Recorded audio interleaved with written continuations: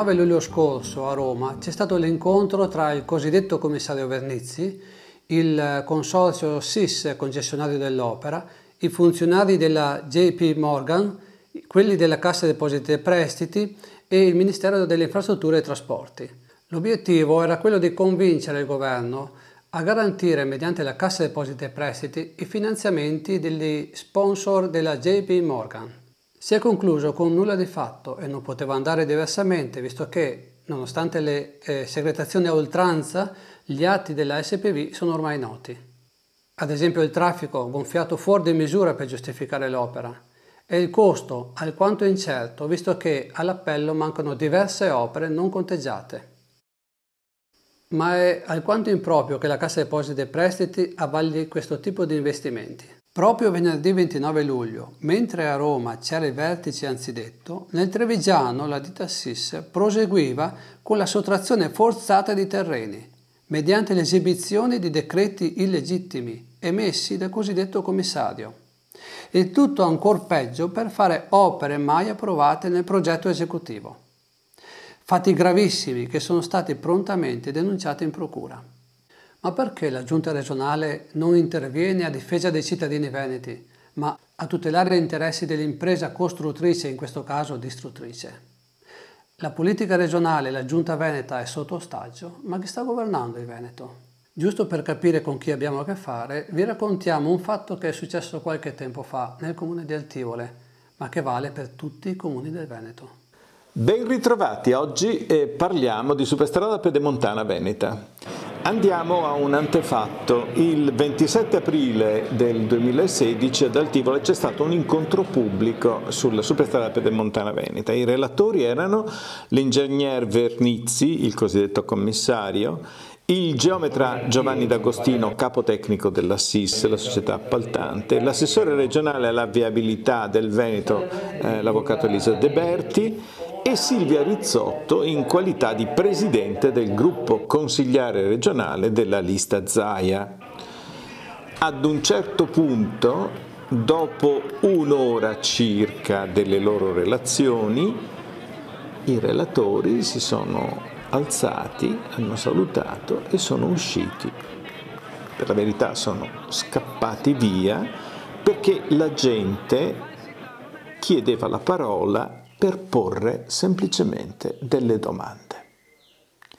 E così il successivo 24 maggio i cittadini hanno organizzato un incontro nella stessa sala dal titolo Superstrada Pedemontana Veneta oltre i silenzi e le censure.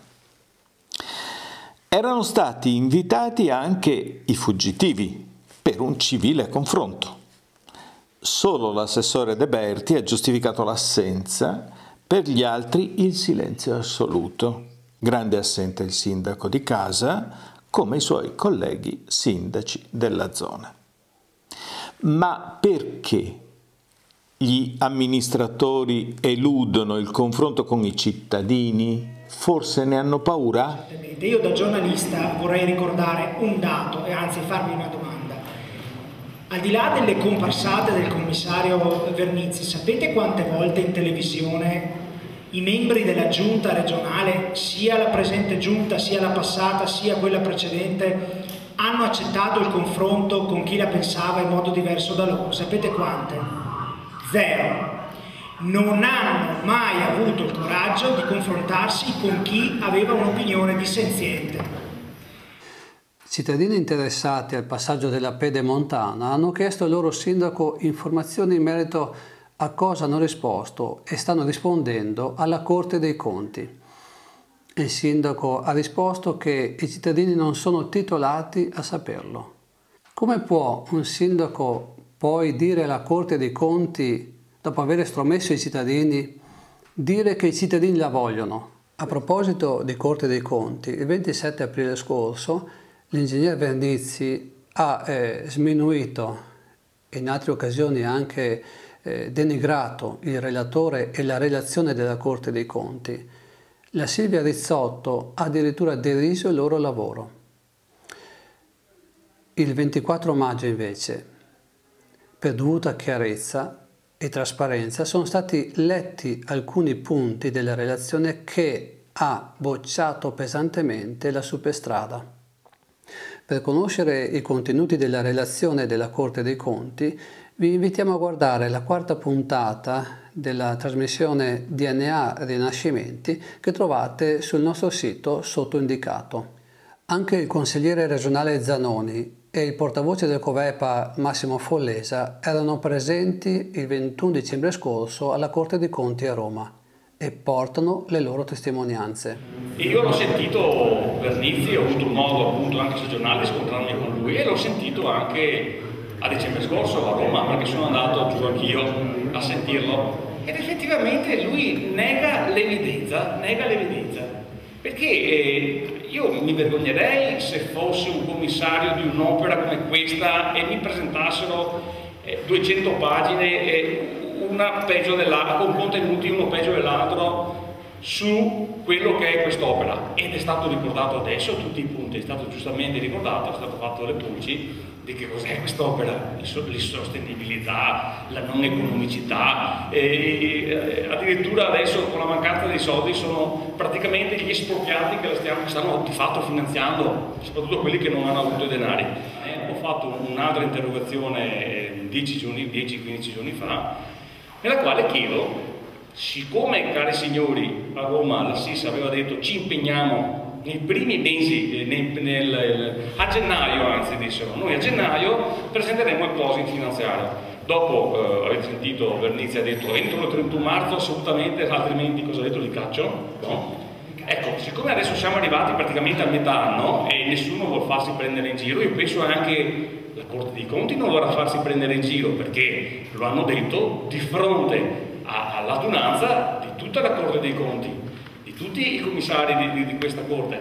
Quindi vediamo che cosa rispondono, perché eh, la promessa che avevano fatto era raccoglieremo dei fondi tramite dei bond americani. Questo è quello che hanno detto. Ma dico, se solo qualcuno si impegna e si informa su dove investire i soldi e va a vedere che cos'è quest'opera e scopre che cosa ha scritto la Corte dei Conti, primo, ma soprattutto quello che è successo alla gemella breve me. Cioè allora io se sono un americano vado a investire dei soldi su un'autostrada dove ce n'è una nella regione vicina che praticamente è vuota e quindi non incamera i soldi con la quale appunto poi uno si paga l'investimento Leggero Vernizzi in realtà è testimone oculare come me alla Corte dei Conti dove il Presidente della SIS ha dichiarato ai magistrati contabili che entro il primo quadrimestre 2016 avrebbero chiuso il closing finanziario. Quindi quest'opera in questo momento sta progredendo con un piano economico finanziario che non esiste, fallimentare.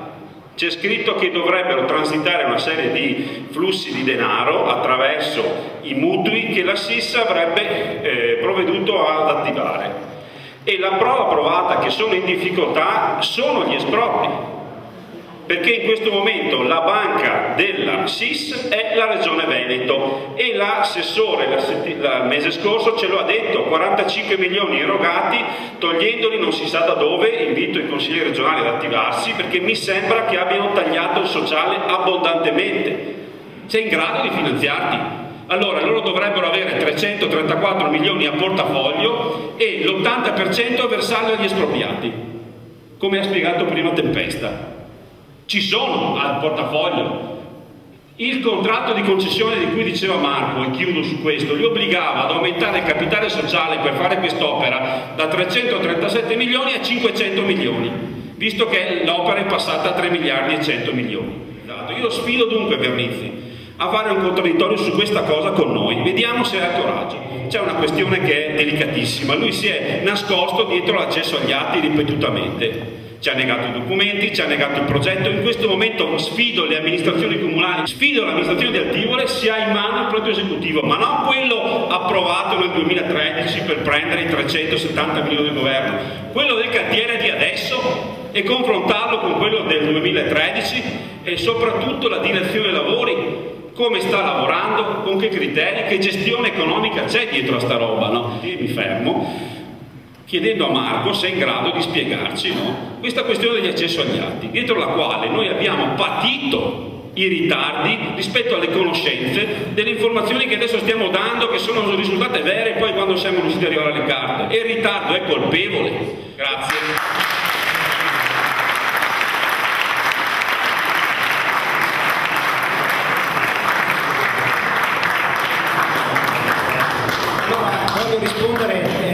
Secondo a quello che dice Massimo.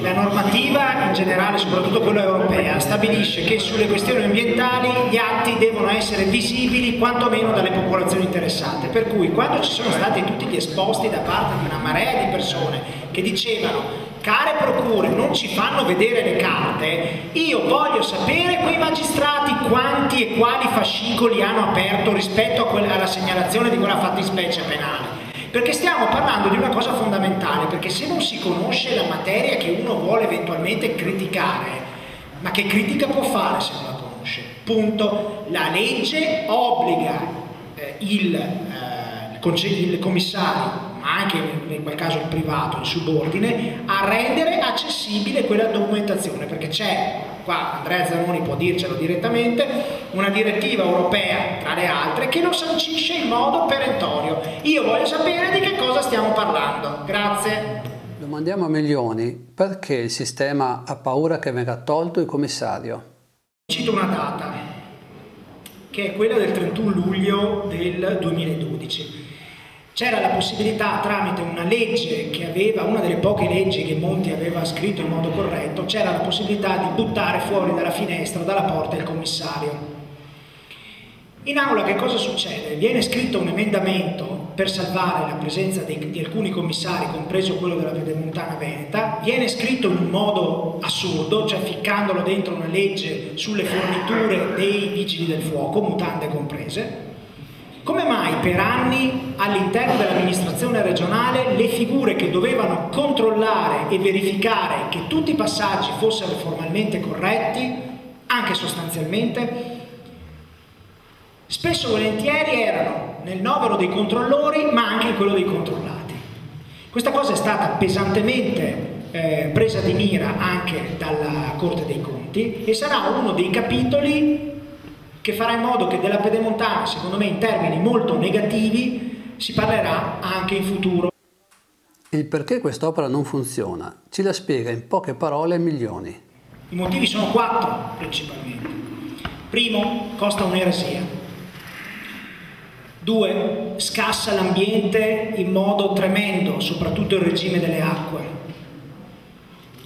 Scassa il paesaggio, siamo sempre al punto 2. Punto 3, arricchisce i soliti noti e punto 4 ferisce a morte il comparto agricolo soprattutto delle eccellenze.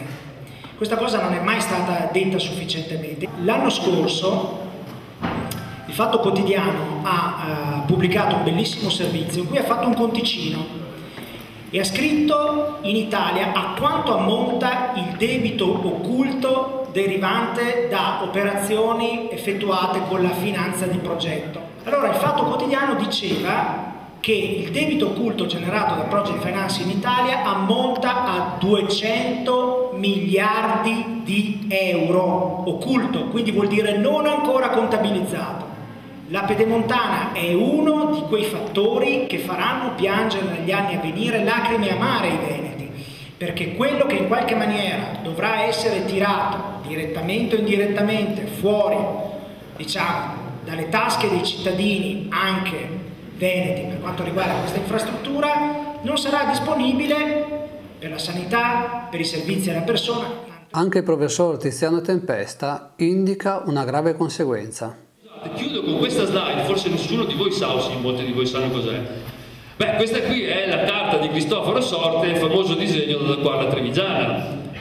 Salto proprio sul capitolo di storia veneta, ma lo faccio perché ci tengo, non ne ho sentito parlare molto. Scusate, questo intervento, il canale Brentella di Pederopa, è la più, la più grande, il più grande intervento irriguo che abbia fatto la Repubblica Serenissima nel Veneto e in tutto il resto dell'Italia. Ecco, questo, questo pezzo di storia patria veneta viene tagliato per metà e distrutto per sempre. Grazie.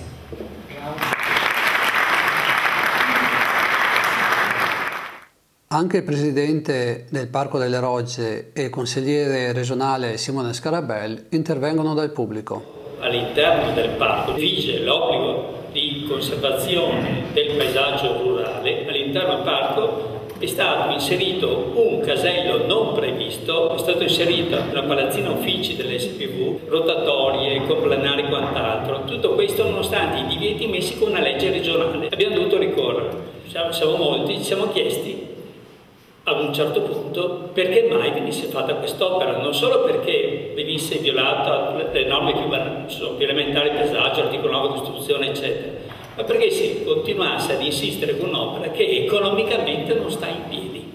Oggi, oggi a, nel Bassanese, tra Bassano e Tiene, sulla Gasparona, che ha una connessione col territorio ogni chilometro, il flusso massimo di autoveicoli eh, è di 20.000 autoveicoli al giorno, chiaramente non paganti, che entrano ed escono perché per lo più mobilità locale. Allora la domanda è, se adesso ci sono 20.000, quando poi saranno chiusi questi, non, non, non ci sarà più la permeabilità, saranno questi caselli inagibili. Come sarà possibile che il traffico raggiunga i valori previsti nel piano economico-finanziario per giustificare l'opera? Perché l'opera abbia un ritorno, deve stare in piedi finanziariamente oltre che economicamente. Benissimo, la previsione di traffico è, equivalente diciamo, a quella della 4, cioè qua si parla di 40.000 autoveicoli pagati al giorno dal primo giorno, pagati. Ma se non ce ne sono, adesso ne sono meno della metà e sono gratuiti. Allora, sapete cosa succederà? Siccome tutto questo è stato inventato dalla regione, approvato dalla giunta regionale, no? Vedi, le, con le due convenzioni 2009 e 2013, tutto questo è già stato programmato, va bene, come risarcimento al concessionario, quindi alla SACIR, va bene, come risarcimento per il mancato guadagno, perché questa avrà titolo per recedere dal contratto e farsi liquidare tutte le opere eseguite, compresi interessi di banca. Va bene? Più, attenti qui, il 10%, il 10% dell'intero pedaggiamento che avrebbe, secondo la Regione, dovuto incassare in 39 anni di concessione, eh, e che ammonta questo 10% ad oltre 2 miliardi. Tutto questo va a finire nel conto della regione. Ogni volta che si parla dell'agricoltura qua in Veneto vengono a piangere perché le aziende del latte, le zootecniche sono in crisi. Ecco, questa strada pedemontana ha messo in crisi tantissime aziende agricole che stavano bene, cioè che stavano bene, che almeno lavoravano e con questo gli ha dato il colpo di grazia. Quindi ogni volta che vengono a parlarci di agricoltura, delle eccellenze qua in Veneto, poi quando si tratta di fare strada, di cementificare, non esistono più, perché quelli sono interessi maggiori. Una prima cosa la stiamo facendo è informarsi e su questo do ragione a Marco Viglioni perché se le cose non si sanno noi siamo già in ritardo perché sono riusciti a fare il 16% dell'opera sostanzialmente fregandoci, fregandoci perché se ci fosse stato un magistrato che prendeva Vernizi per l'orecchia e lo tirava a un dibattito o gli diceva noi adesso non saremo in queste condizioni. L'opera da Villa Verla a Sarcedo è quasi fatta e quindi lì non credo che torneremo tanto indietro. Adesso stanno andando a spot a pizzicare, voglio dire, tutti i sovrappassi, tutte le cose. Questi vanno fermati. Cioè, la, il cosa fare è vanno fermati. Loro già si fermeranno da soli perché il closing non ce l'avranno perché il bond ad alto rischio in America non glielo dà nessuno e se glielo danno voglio dire sarà un rendimento così alto che altro che 500 milioni di euro di finanziamento. Quindi... Ma quali soluzioni avevano chiesto i cittadini? Cioè, se volevano proprio fare una strada scorretta, bastava che allargassero un metro o due, fare una seconda corsia senza espropriare più nessuno perché tanto era terreno acquisito, strada sarebbe stata pubblica e invece no, vogliono fare a pagamento spendendo tre volte tanto, quattro volte tanto. In sostanza i cittadini chiedono semplici interventi che però servono al territorio, al miglioramento della qualità della vita. I politici fanno altre scelte.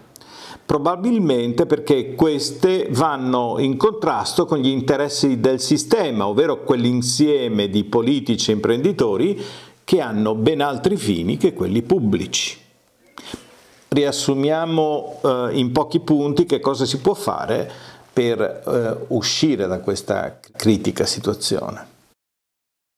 1. Bloccare l'opera per evitare ulteriori inutili distruzioni. 2. Riscuotere la polizza fideiussoria per pagare almeno chi ha subito danni. 3. Utilizzare le risorse che la Regione prevedeva per la SIS per fare invece quello che serve alla viabilità ordinaria, sistemazione di intersezioni, sottopassi stradali e ferroviari. 4. In merito alla SPV, valutare cosa conviene finire, cosa si può ridimensionare, cosa si deve ripristinare.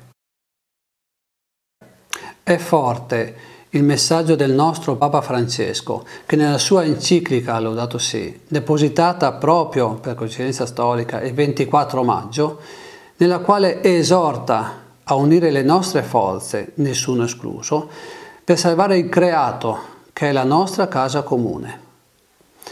Perché le cose si possono, anzi si devono cambiare.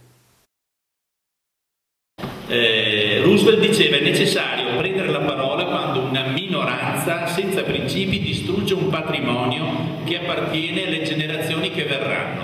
Questo lo dice Roosevelt nel momento in cui parte il New Deal.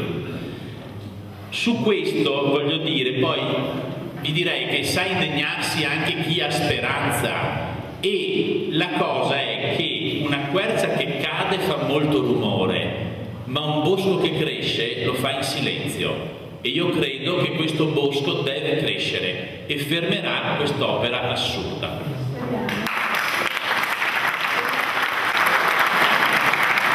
Vista la critica situazione finanziaria della SIS, il buon senso suggerisce di bloccare i cantieri per evitare inutili distruzioni delle nostre aziende agricole e della nostra economia.